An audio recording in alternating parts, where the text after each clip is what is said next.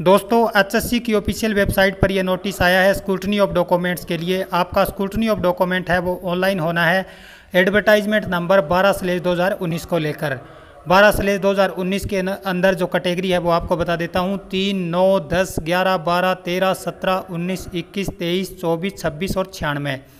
इनका आपको official website पर 18 नौ 2021 से आपको एक लिंक मिलेगा। उस लिंक पर आपको अपने सभी ओरिजिनल डॉक्यूमेंट है, उनकी कॉपी अपलोड करनी है और ये लिंक 18 नौ 2021 से लेकर 27 नौ 2021 तक ही एक्टिव रहेगा। इसके बीच में ही आपको अपने सभी ओरिजिनल डॉक्यूमेंट हैं, वो अपलोड करने हैं। अप्लीकेशन फॉर्म भी आपको साथ में सबमिट करना है ऑनलाइन ही।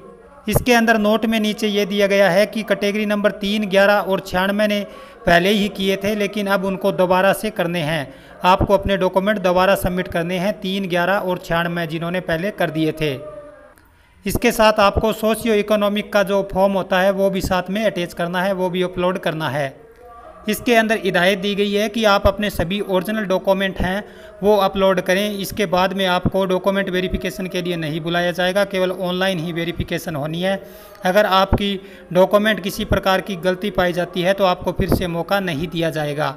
दोस्तों, इस वीडियो में इतनी जानकारी थी। इसको लेकर आपकी कोई क्यूरी है तो आप हमें कमेंट कर सकते हैं या हमारे टेलीग्राम चैनल को ज्वाइन कर सकते हैं। डिस्क्रिप्शन में लिंक मिल जाएगा। वीडियो देखने के लिए धन्यवाद।